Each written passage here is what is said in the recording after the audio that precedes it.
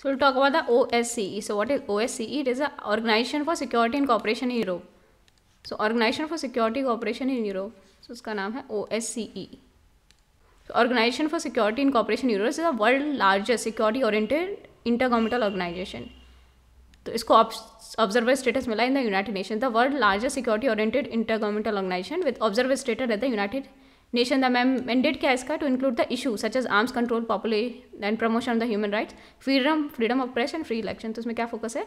Arms control promotion of human rights freedom of press and and fair elections setup हुआ था 1975 in Helsinki Finland 1975 Helsinki Finland first अगर 1975 in Helsinki Finland so यहाँ Norway Sweden and Finland तो Finland में है Helsinki Finland में Helsinki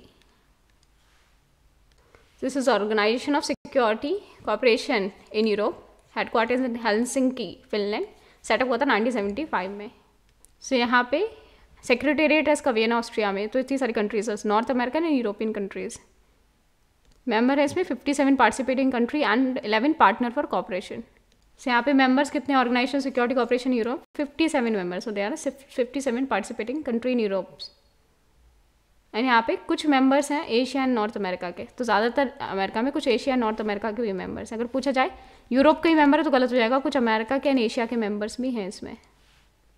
सो so, इसके origin कब हुए थे? इन द 1975 कॉन्फ्रेंस हुई थी security and cooperation Europe Helsinki Finland उसके बाद स्टार्ट हुआ था। तो 1975 की कॉन्फ्रेंस हुई थी हेलसिंकी फिनलैंड में on the conference on the security and cooperation Europe तब स्टैब्लिश हुई थी ऑर्गेनाइजेशन इन 1975 इसका फोकस क्या है?